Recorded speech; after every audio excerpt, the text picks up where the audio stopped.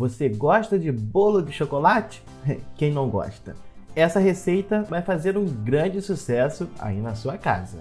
Nós vamos precisar de ovos, farinha de trigo, açúcar, água, óleo, cacau em pó, fermento para bolo, bicarbonato de sódio e vinagre. Para o recheio, nós vamos precisar de achocolatado, açúcar e água. E para a cobertura, um pouco de achocolatado, manteiga e água. Com a batedeira, bata as claras em ponto de neve. Reserve em outro recipiente.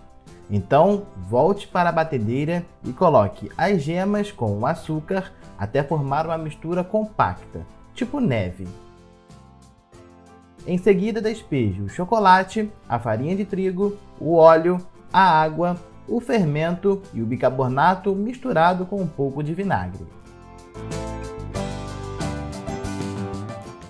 Bata bem essa mistura e misture as claras em neve com uma espátula.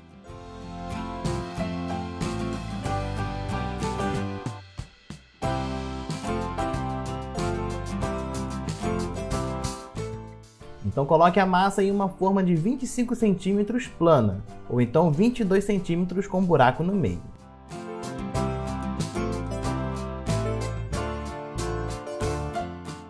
E leve ao forno a 220 graus até o palitinho sair limpo.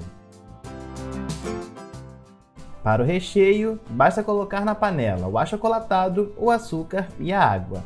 Deixe ferver por 2 minutos. Em seguida, você jogue a calda do recheio quente por cima do bolo furado. Espere esfriar e então desmonte ele. Já para a cobertura, coloque em uma panela também o achocolatado, a manteiga e a água.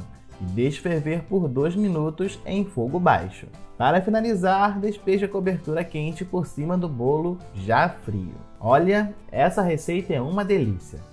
Se você fizer ela, não esqueça de marcar a gente lá no nosso Instagram e também de entrar no nosso site para ver mais receitas deliciosas como essa.